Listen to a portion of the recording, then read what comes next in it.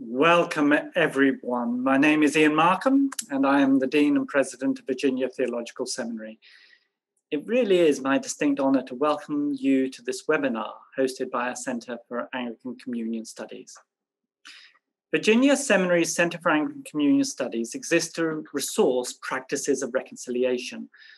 This is done through international partnerships, programs, and publications that equip international community, empower intercultural leadership, and enrich Episcopal Anglican identity. Now, the theme of the Centre's program this year is the Anglican Communion, a moment for justice.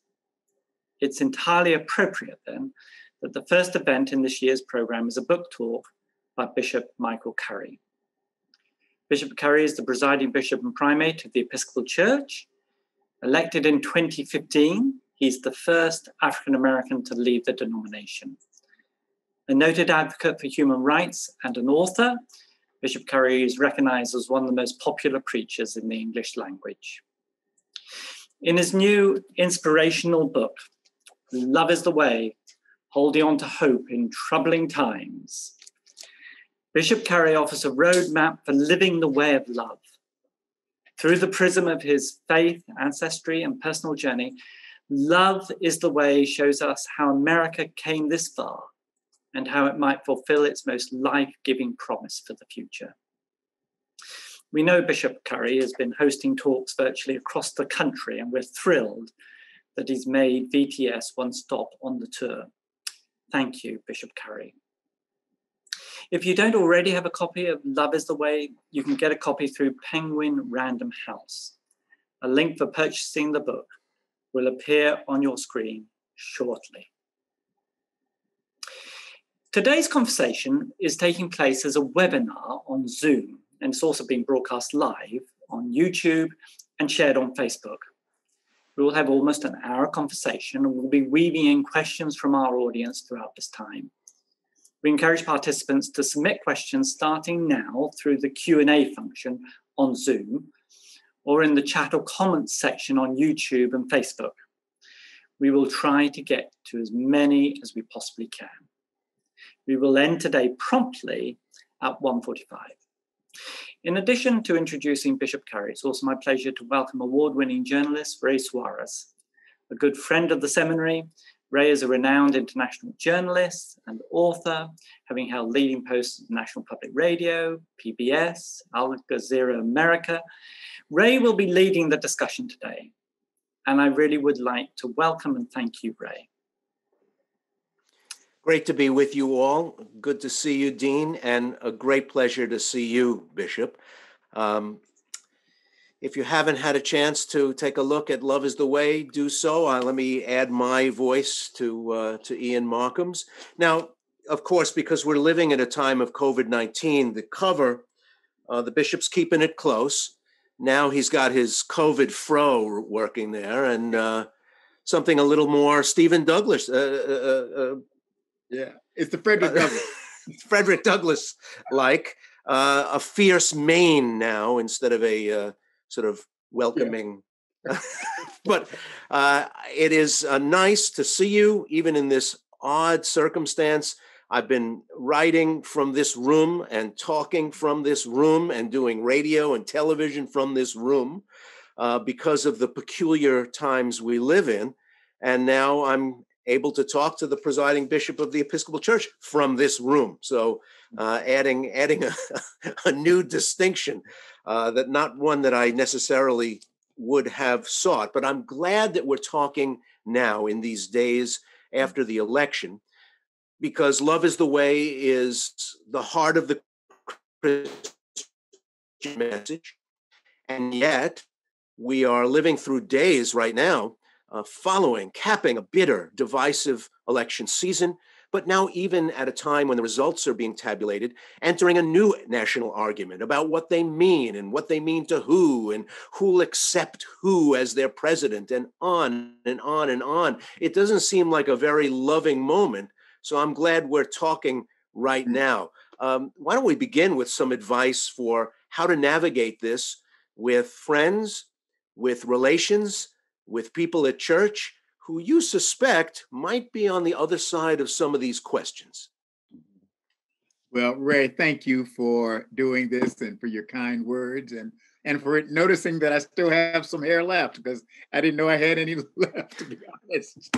And thank you to Dean Markham um, and and all of his team and for the Center for Anglican Studies. Thank you all and all who have gathered. Yeah, this is a uh, this has been a tough moment, almost a perfect storm um, uh, for for this country and to some extent for the world. I mean, the pandemic is global. Um, it really is a global pandemic. Um, um, just last week, the primates of the Anglican Communion met with the Archbishop of Canterbury and for two days, and and part of what we did was listen to each other's stories about the impact of COVID nineteen. Um, this is a global pandemic, um, and and and for us in the U.S. to actually have almost a disproportionate amount of of cases and deaths um, just seems unusual um, in that the most developed world with the most developed medical technology available to it has the highest. Um, that just just that in itself is stunning. Um, but also to think about for those of us, at least in the U.S., um, this has been a national time of racial reckoning. Um, um, the the murder of George Floyd kind of oh, it kind of woke in the uh, hip hop sense um, the nation became more woke, if you will, um, to the reality of, of racism and systemic racism and, and even white supremacy and its power in our national history for, for generations. And then you add on top of that the pre-existing divisions that were there um, um, that we saw to some extent in the election of 2016, but they predated that and now have have reared up in a profoundly uh, problematic way that um, untended to could be injurious to democracy itself. Um, these are tough. This is a perfect storm. And I, you know, I, I do want to suggest, Ray, that, and I'm not just saying this as a catchphrase, but the way of unselfish, sacrificial love that is committed to seeking the good and the well being of others as well as the self, that is the only way we are going to extricate ourselves from this nightmare, if you will. Um, the, the way of self centeredness, the way of selfishness um, is self destructive in the long run. It may have short term gain, but it's long term loss um, for everyone. And so that's that's why I really do believe in the message um, that's that's sort of in this book, um, because I believe our national destiny as a democracy depends on it, and our human destiny as a human community depends on it and the life of the planet itself. I'm wondering if wouldn't get an amen in principle, but not in practice.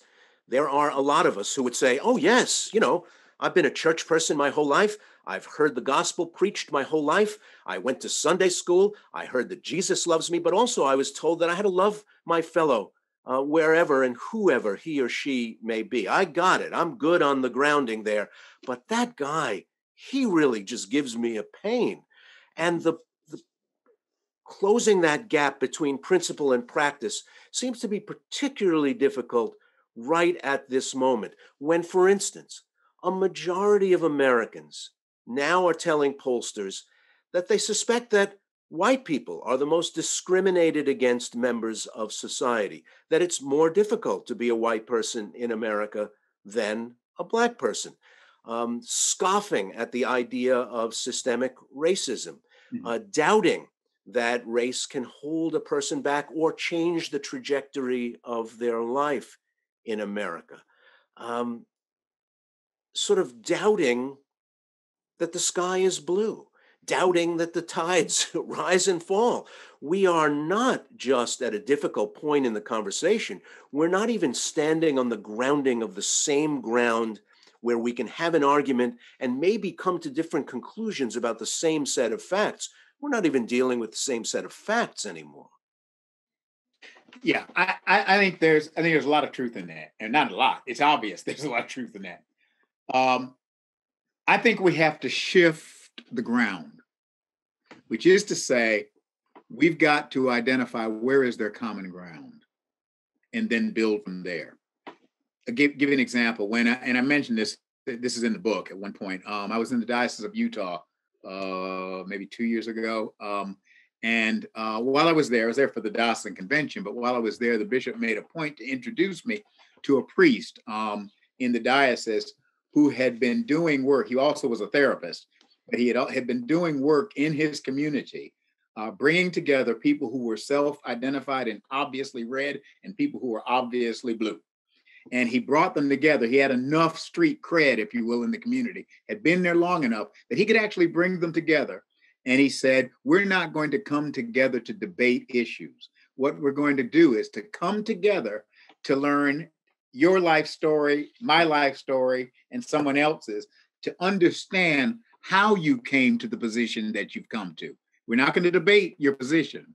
We want to learn your story the genius of that is what he was doing was creating common ground. Because the truth is, when we to, to, to learn each other's story is to actually discover who the other really is. When that happens, you have changed the ground on which we stand um, and made it possible, opened the possibility that I might still profoundly disagree with you, but if I understand you a little bit, then maybe I can at least appreciate, maybe respect, and maybe, God help us, love. And if when that happens, then we have gained the capacity to disagree without being destructive. You, you see it getting at? And that's and what he was doing was creating the ground on which love gives us space to stand.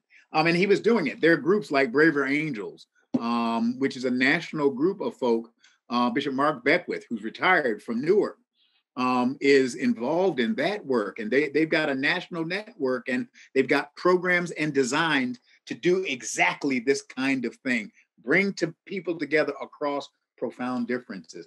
I think Ray, I think that's the work we have got to do. That is the work of the church and our society. But if the society won't do it first, then the church and religious communities of all faiths and stripes, we have got to do that work because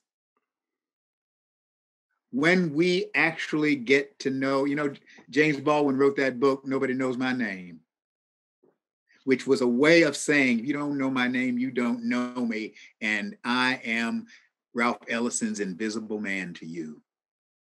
I am non existent, and therefore um, I am an it to you as far as you are concerned, a nothing. And that's when unthinkable stuff happens. You see what I mean? That's when hatred and see, you, see, you can demonize it.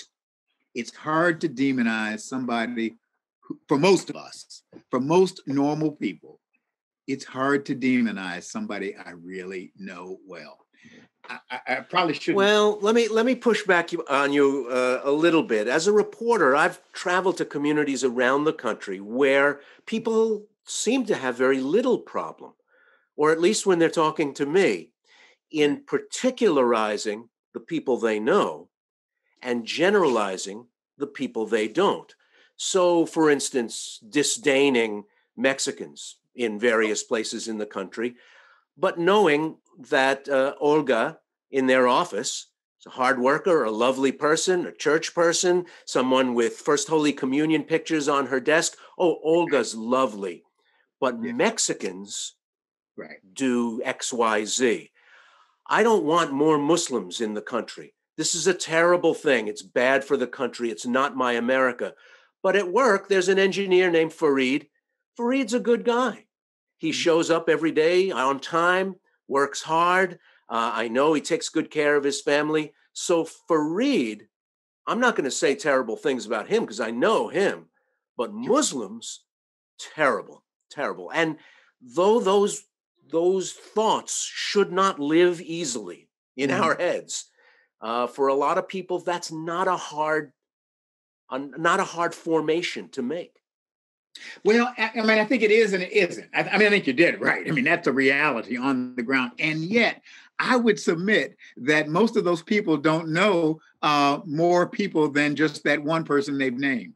You see what I'm getting at? It's oh, it's sure. a limited, it's a very limited scope. So I can um, this person contradicts the stereotype I have in my head. Oh, well, they're an exception. I mean, black folk have lived with that where oh, would, would compliment you and say, "Oh, you're so intelligent and articulate." That's a put down. it's actually it's not intended to be, but that's actually you. Oh, I've been the, there. I've been there, Bishop. I know exactly.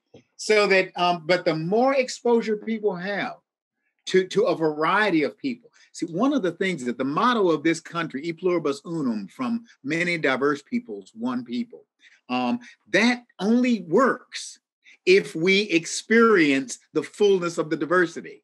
If we, uh, that's why segregation doesn't work. Segregation works in contradiction to democracy itself. And I don't mean just racial, but I mean separating, segregating our diversity where we don't actually know each other. Like Ralph, uh, like uh, James Baldwin said, when nobody knows my name, that that's you can make exceptions to the stereotype, but maintain the stereotype. But when you see I'm exposed to the fullness, it's going to be hard to maintain that stereotype when I know um, not just uh, Fareed, but Mohammed um, and Naomi, and you know, and on and on and on and on. Um, and when I begin, I'll give you an example. Um, I think the LGBTQ folk community have really helped us. Um, something changed in America when people stopped talking about gay and lesbian folk as it, as an object, or as a um, an issue, something changed when um, Ellen came out, and everybody loved Ellen.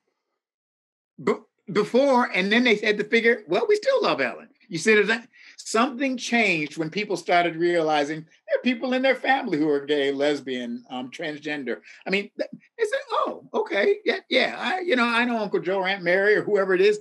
I mean, something began to change when we began to realize that there are LGBTQ people all over who we all know. you see, when it was just one, you can make an exception and you can pigeonhole them.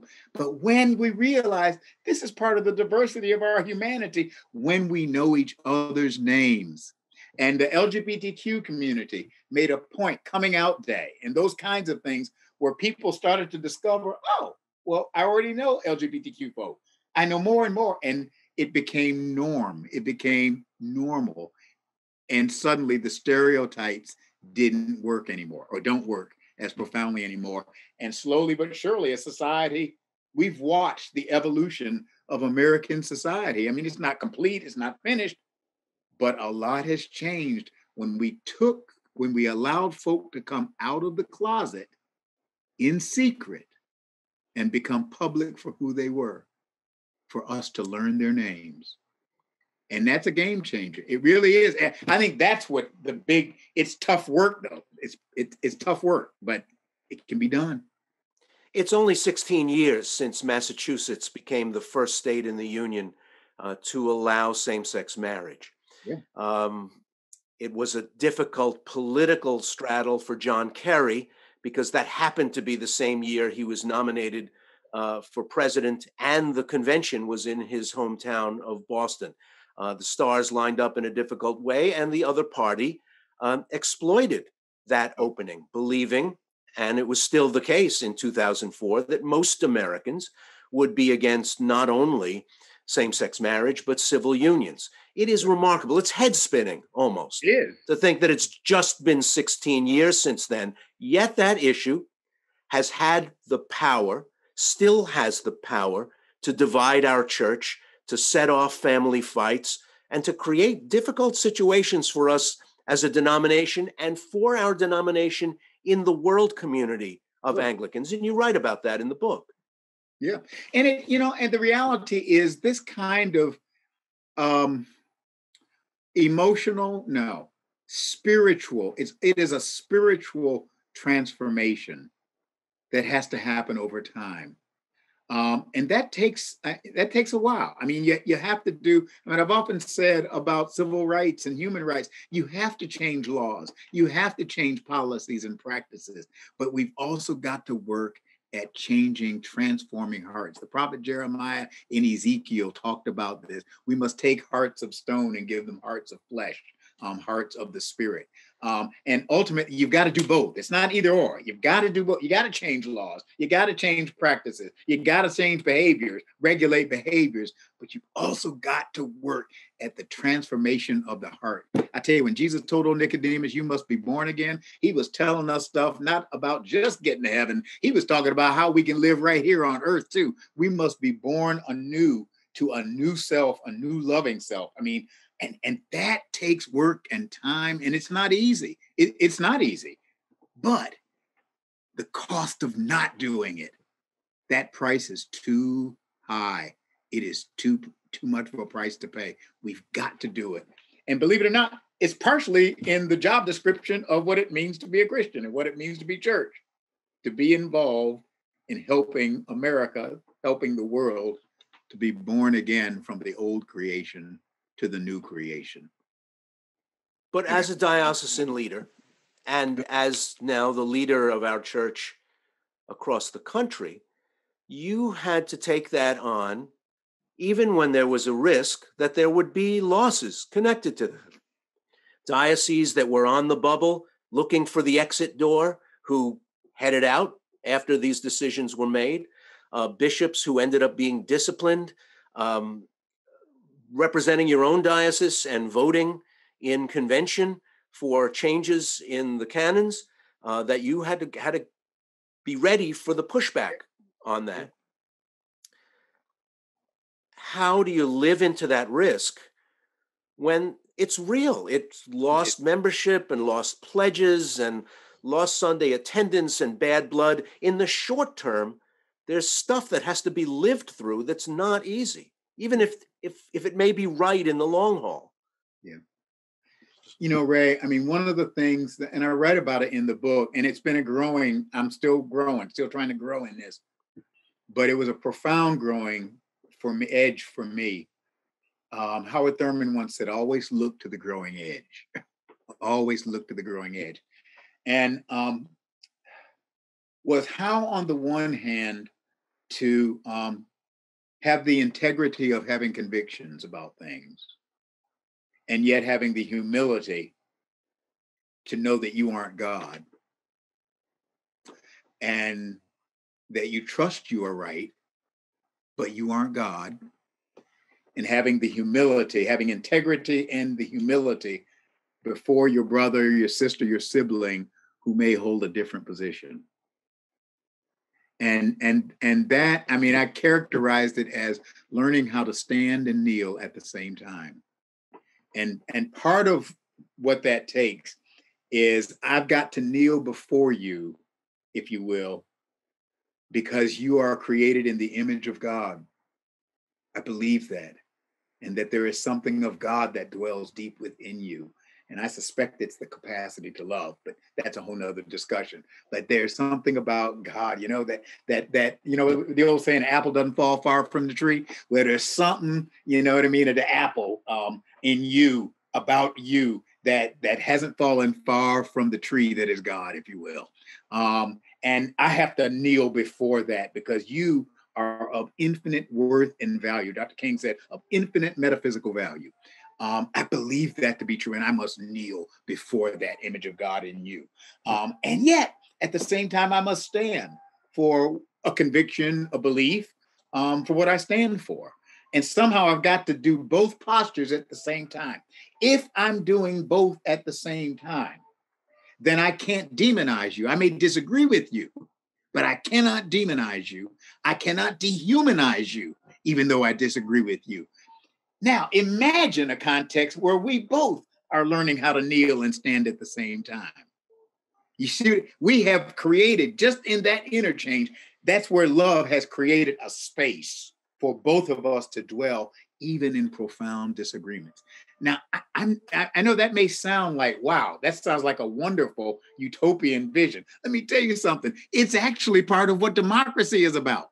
The oh, capacity. Oh, absolutely. It really is. Um, so this is no more a dream than the American dream.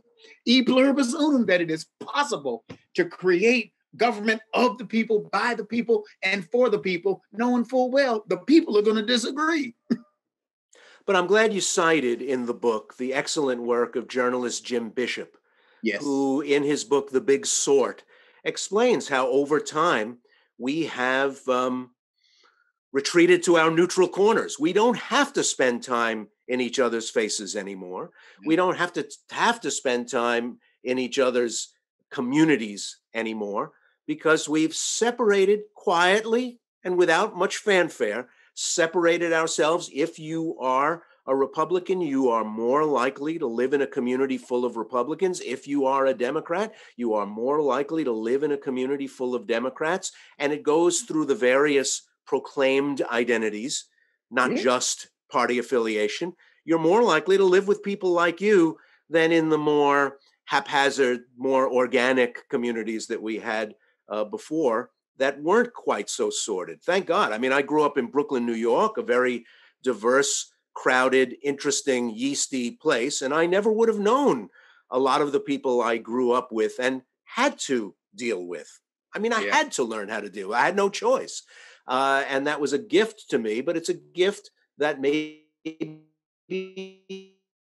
teenagers today are not having because they tend to grow up in economically uh, and, and in other identities, more homogeneous places. It's tougher, isn't it, to it pull tough. off the work that you've been talking about, to find a vessel that'll hold us all, to find um, an arena where we all stand together mm-hmm. uh, than it was when you and I were coming up. You're absolutely right, Ray, and I, I'm convinced that that is that that may be that may be one of the profound works that we who are church um, but not just we who are church, we who are people of faith.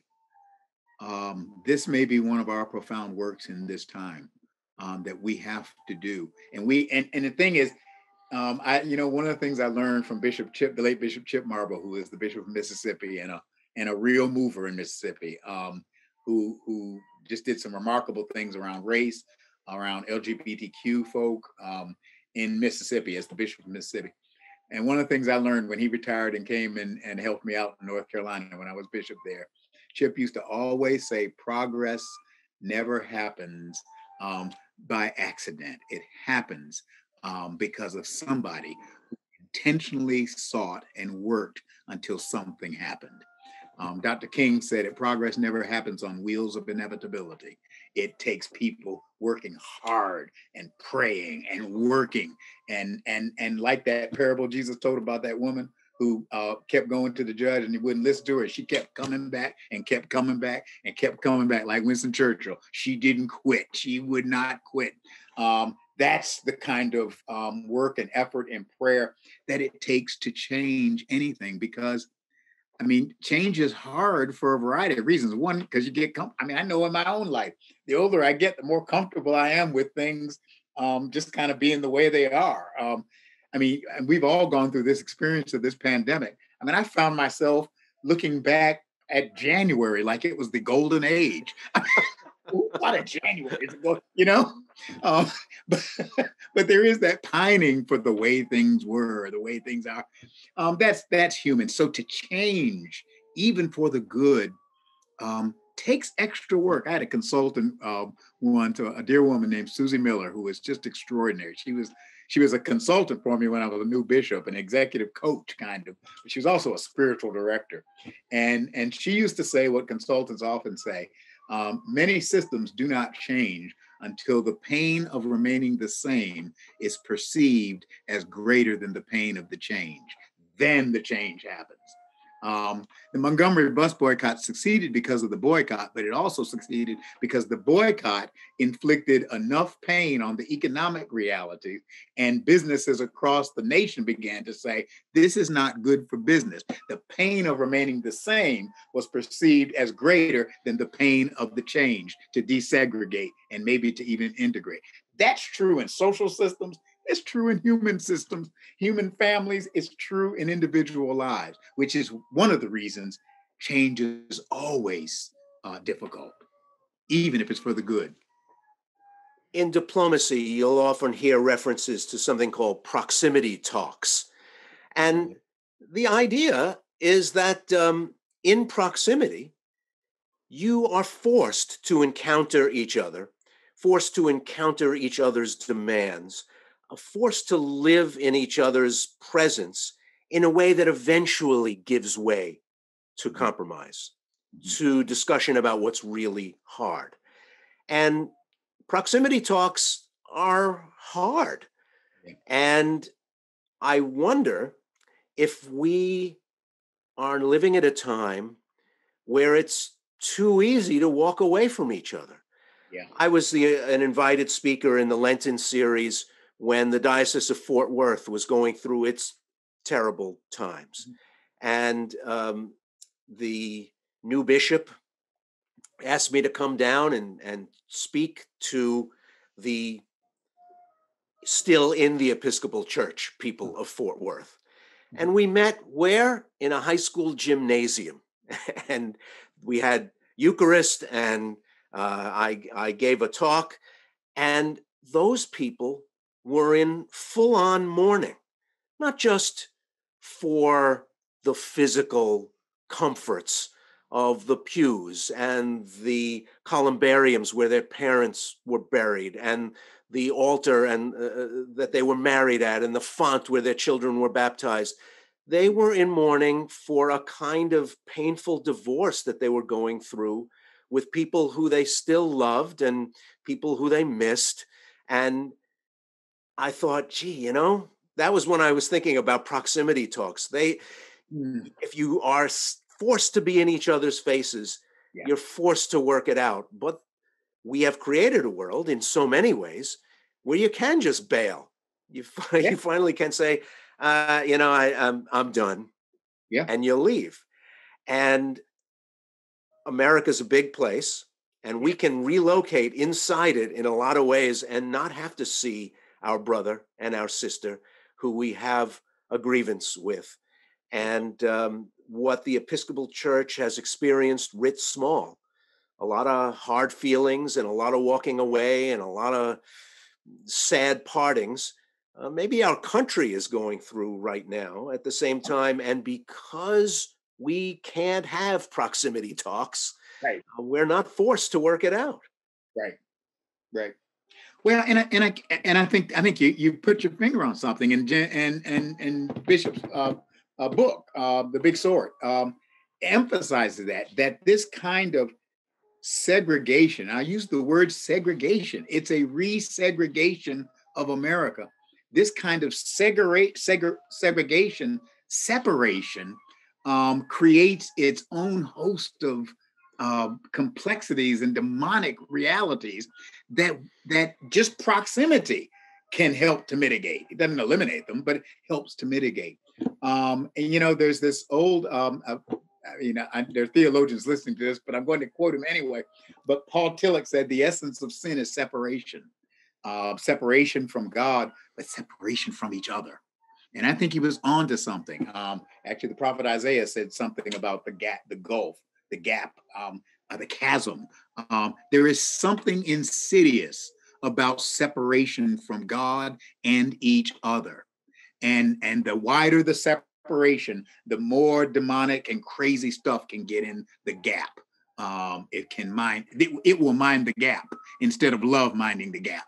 Um, and we're seeing that in american society. Um, and you know i mean we all watched the election last week um, and you saw the people at the boards, those electronic boards, and there were some red areas and some blue areas, and then a couple of purple areas or striped or something. Um, they could measure ahead of time. I mean, this is what Bishop said in the book. The marketers know this. They know what stores to put near what neighborhoods and that kind of thing.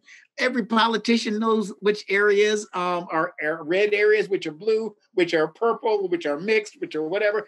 I mean, they know it, it's we America. Um, it is almost as though somebody went to the cemetery and and and dug Jim Crow up and said, Jim Crow, we got a new idea. They may not fall for the racial one. That's too frontal assault. Oh, we get some of them will fall for it, but most folk won't fall for that. Here's what we'll do: we'll separate them by like-mindedness. Who can disagree with that? You can't even come up with a law to stop that.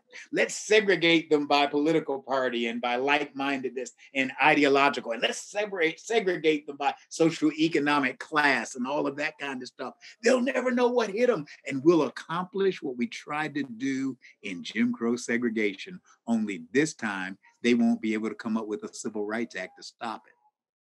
That's what's going on in American society. And Bishop was right on target. And we've got to find ways. Okay, we can't change all the housing patterns completely, although there are some public policy things that can help to do that. Um, but what we can do is create other spaces where people come together across differences. And as Chip Marble taught me, it has to be done intentionally. I think we who are the church have the capacity and the calling, and other peoples of faith and peoples of goodwill. Um, Braver Angels isn't a religious group. It has some religious folk in it, it has secular folk in it. I mean, it's people who are concerned about the democracy of this country um, who have come together to do it. So I think there are people of goodwill. There's the possibility of getting a movement going that actually could affect this country for the good. Do we speak with a big enough voice in the culture in 2020 to be in the vanguard? I mean, we're a small people inside a really big people. Mm-hmm. Um, can we uh, punch above our weight in this regard? Um, not only modeling a version of that co- future community you're talking about, but talking about what's good about it to the wider America. I think we can can do it to some extent. I mean, in a little way, I wrote this book to punch above our weight to some extent because part of what i am very aware of. I mean, this book is is an act of evangelism for me. I mean, it really is. It's actually a, a way of saying this is what the gospel of Jesus Christ is actually about, not what is sometimes popularly understood in our culture um, that it is about a way of love that can transform individual lives, social lives, and a universe, a global life. It is about a way of love, a way of life that actually makes a difference and can make a difference. But it's hard work to get there. It can be done though. I think we as a church can punch above our weight, but not just on our own by doing this work ourselves, but by inviting others um, to join us in this work, to join in this work ecumenically, interfaith, um, and and when I say interfaith, I mean not just religious faith, but but non-sectarian. Um, uh, other people in this country. I think I, that's one of the reasons I've been encouraging Braver Angels and all that kind of stuff. Um, things like our civil discourse kind of program that the Office of Government Relations does here um, as part of the encouraging. that. I've been offering those resources wherever I go. I think we can, but we got to join coalitions. We got to join hands in hands and build bigger networks uh, because I think there are there's a critical mass of people concerned about the destiny of our democracy, not simply because of the recent election, but because of the polarization and the divisions that are not just matters of disagreement, but have actually gone deeper than that. And that we know we've got to heal our land. Do we, as a first step, as a predicate to doing this, uh, have to revive a more thorough conversation about what love means. Yeah. Uh, not top 40 love, well, not necessarily, uh, but uh, love in all its dimensions mm-hmm. so that we can reclaim that idea that we don't have to be gazing dreamily into each other's eyes 24 hours a day. Uh, that we don't have to agree with each other all the time. We don't have to uh, just want to want to just give everybody a hug. There's a kind of love, an adult, fully present, fully fleshed love that is part of the work of being alive. That has nothing to do with romantic love. That has nothing to do even sometimes with affection.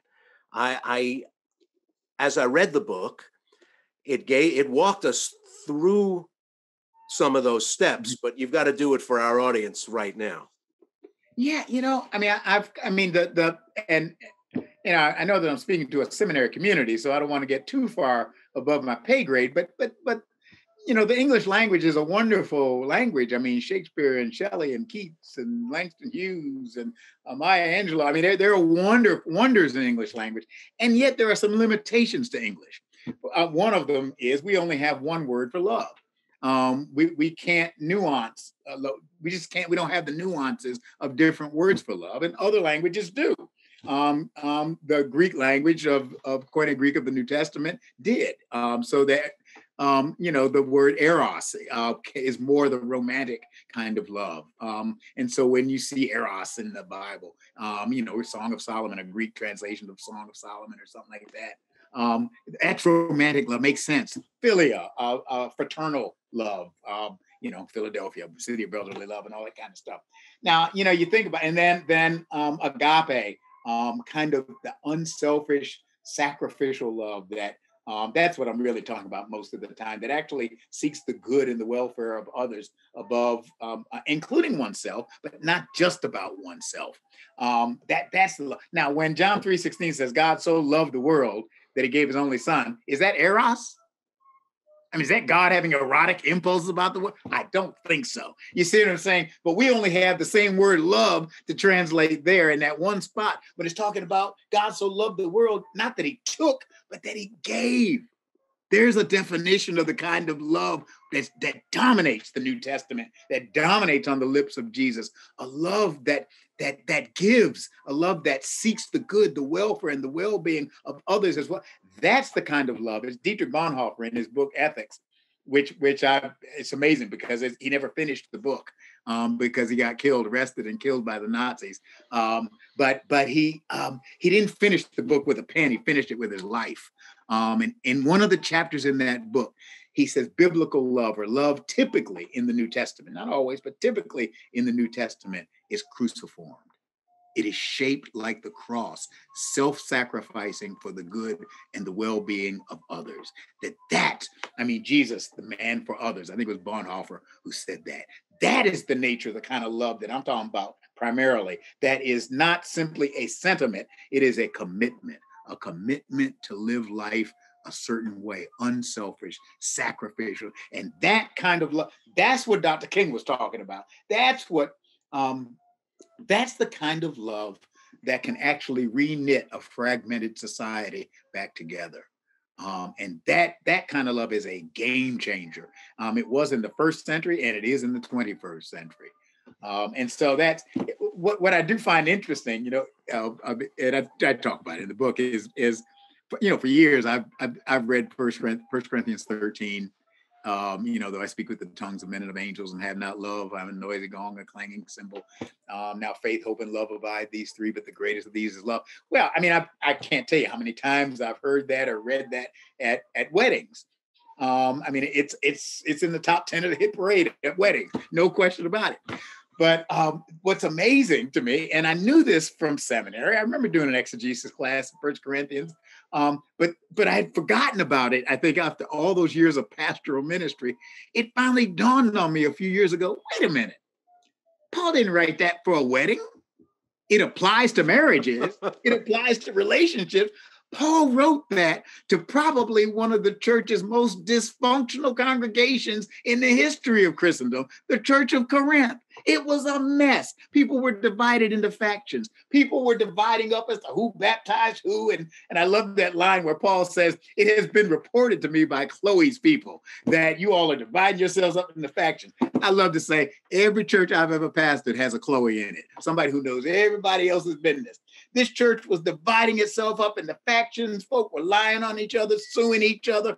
Rich folk got their communion first. The poor folk got theirs later. Some folks said, I got the Holy Ghost and you don't. Some folks said, I'm going to heaven and you're not. I mean, this was a church that was tearing itself apart by unenlightened, what's John Stuart Mill called unenlightened self interest, selfishness was destroying it. And Paul says, No, I will show you a still more excellent way. Though you speak with the tongues of men and of angels, you can sound all religious all day long. If you have not love, you are a noisy gong, a clanging cymbal. You are a tale told by an idiot, full of sound and fury, signifying nothing. Um, you are just making noise. Love is not jealous. Love is not rude. Love does not insist. You see what's going on there? He is de, uh, deconstructing the destruction of selfishness destroying community and reconstructing it and showing the way to a new creation, to be born again,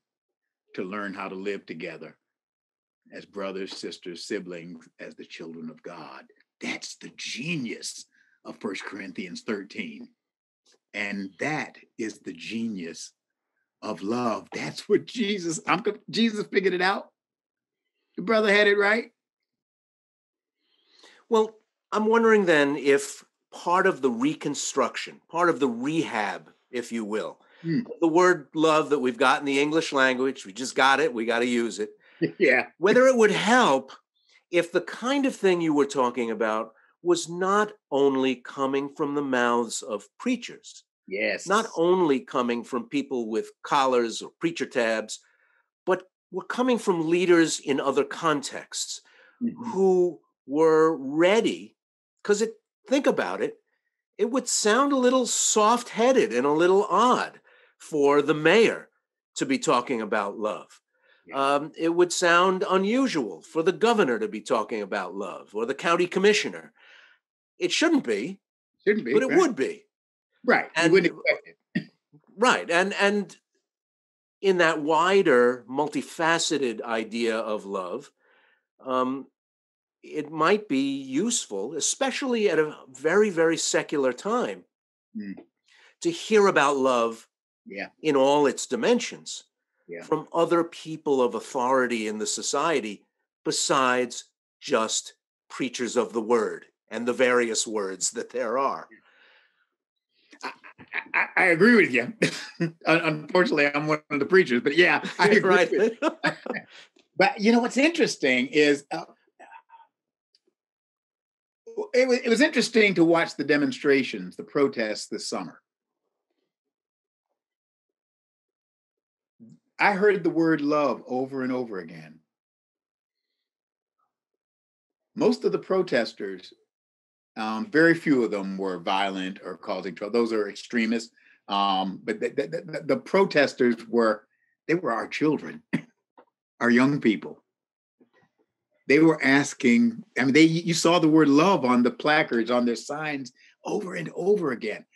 In secular culture, there's more music that's moved beyond just romantic notions of love. You know, I mean, that's still there, of course to, to talking about. I mean, Stevie Wonder was doing. I mean, Marvin. Uh, I mean, uh, uh, uh Marvin Gaye was talking about. And there, there's been a drumbeat of love trying to emerge in secular culture um, that hasn't always filtered up to. You know, I suppose it's sort of tough for politicians to talk about love. Um, again, because we only got one word. I think I think there's some of that. There's some difficulty. When I, I was uh, I was interviewed by the Harvard Business um, review uh, two years ago or so, and and um, at one point the interviewer said, "Look, this this the language of love isn't um, one that communicates or that's often heard in the corporate world where most of our readers live. Uh, can you translate it?" I said, "Yeah." Um, it's the difference between living just for me and living for we. We includes me, but me doesn't necessarily include you. And therefore, if love is about living for we, that includes me, um, what the South African tradition calls Ubuntu. Um, I am because we are. Um, and and that if we get sometimes we may have to reframe it in language that that that that other folk can use. Um, somehow, at some point, our political leaders are going to have to invite us to love each other in America. It's going to take that. It's going to take that. We're going to have to claim this that we're going to love each other. Now, it's bigger than loving each other just because we're Americans. We're human. But but let's start somewhere. Start call, claim the you know let that hymn come labor on that says claim the high calling angels cannot share. Sometimes we got to claim the high calling. Um, and we need our leaders, our political leaders, to claim that high calling, to, to, to, like the psalmist says, set me on a rock that is higher than I, to set us up on a rock that is higher, not to let us dwell in the gutter and in the muck and the mud, uh, to set me on a rock that is higher than I. Show me the better angels of my nature. Show me um, and and invite me to be better than I would be on my selfish self. That, I mean, that, that they can call us that, to that. Um, we need our leaders to call to that. Um, and there are some. I mean, there are some. Um, and and and there are some in the in the corporate world. There are um, uh, there really are. There are you know what? There's more good out there. There's more virtuous out there than we often know. It's just that the sound of remember when you were a kid and you were on the playground and everybody was playing over in one side and playing football. And then if a fight broke out somewhere on the other side of the playground and somebody hollered, fight, fight, everybody ran over to where the fight was. Um, that's how we human beings are like that. I have no idea why, but we're kind of like that. And and yet the truth is, most of the time, most folk aren't fighting. Right. Most folk are decent people. Uh, want to live decent lives, want to be kind. Um, most people reflect that image that God put in us. Most of us do. But the reality, I know the reality of sin and the reality of selfishness, it's there. It's always there. But good is greater than that. I refuse to believe that the selfish, the sinful, the evil is going to win. God is God. As long God is God, good is going to win. Love is going to have the last word. If you've been listening to our conversation and kind of itching to join it, you can use the Q&A function down there at the bottom. Enter a question and uh, we'll see if I can get to it. Greg asks Bishop Curry, there are contemporary communities of persons who have embodied the kneeling and standing. Are there contemporary communities or persons who've embodied the kneeling and standing of which you speak? John Lewis comes to mind. Are there others? Uh, there are others. Um, I mean, I've mentioned Braving, Braver, Braver Angels, but there are other communities locally that I'm aware of. Um, I'm sure that there are more nationally. I know that there are people doing this because I've seen some of them. I've seen it in the church. and I've actually seen it in the church. Um, as as much difficulty as we've had, and we've had difficulty in our church around um, issues of sexuality, human sexuality, and all of that. And yet, I've also seen, and I saw it as a bishop of a diocese, I have seen moments and times when people have knelt and stood at the same time. I, have seen them do it, um, which tells me the capacity is there. Um, and and it's happening. It's it's happening around. I think we have to intentionally work at making this this happen. I think we do what I've described is basically um, what's often called nonviolent communication, nonviolent living. Um, that that um, um I was just doing a, a video earlier this morning for the border um, bishops conference coming up the end of this month, I think, um, on the border, and this time they're focusing on global peacemaking. Uh, you know, to to be peacemakers and actually doing some of the practices and some of the trainings that help give people tools for actually living a life that is a peacemaking one um, that actually does make for real and genuine peace not not peace at any price but genuine peace um, there's anyway.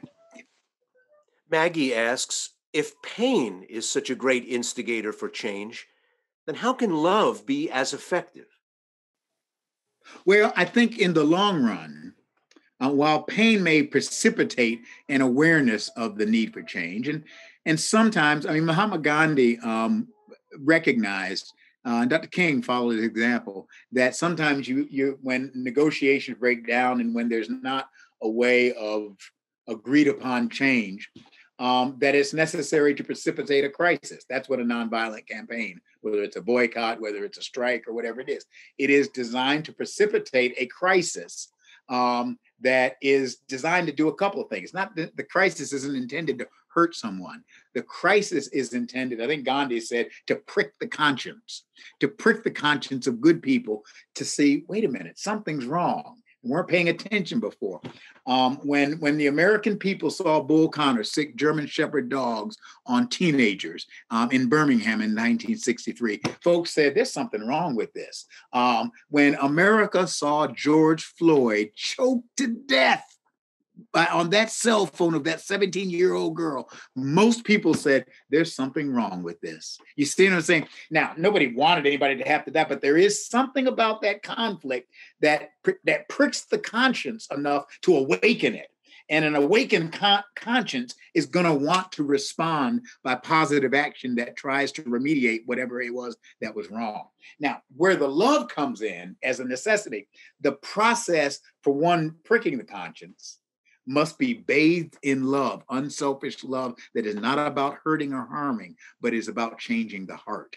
Um, and it must be um, followed by a commitment to a loving way that creates a future for both those who have been put down and maybe those who have benefited from putting others down.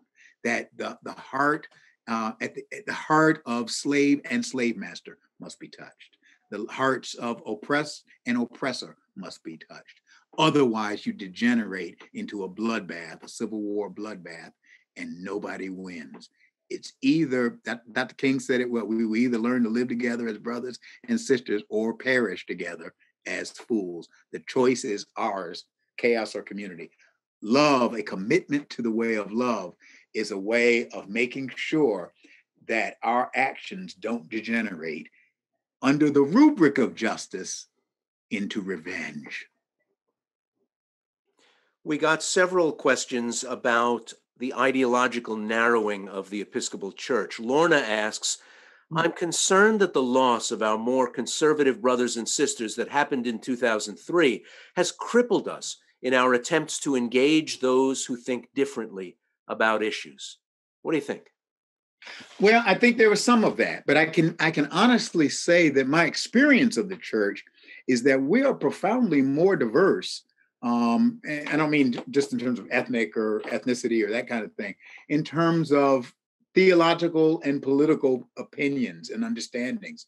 Um, I know that as Bishop of North Carolina, that was the case. I mean, believe me, I mean, uh, wherever there are two or three Episcopalians, there's always a third opinion. I mean, it's just sort of a given. And that actually is true. There's more um, diversity among us that I've experienced. I mean, I'm actually experiencing it um, in terms of our views and understandings um, than than you would expect. You would assume it's the Episcopal Church is just a liberal denomination. My experience is it's much more varied than that, especially when you travel around the country, when you move off the coast, um, when you actually experience the Episcopal Church um, in all of its breadth. You'll discover there actually is a wondrous diversity of thought um, and of perspective um, that I think is good.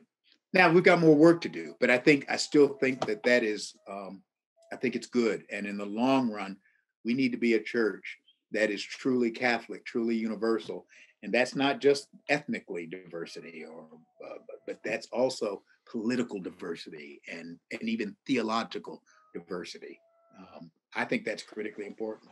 One way that we don't match the changing America is in our racial makeup. The church is about 90% white, which you can probably pull off in a country that's still about two thirds white or so. Mm-hmm. But in 25 years, the country will be half non white. And it's tougher to be a church that's 90% white in a right. country that's 50% white. Can we pull it off? Do we even want to? Right. No, I think the Episcopal Church must mirror the fla- the face of America.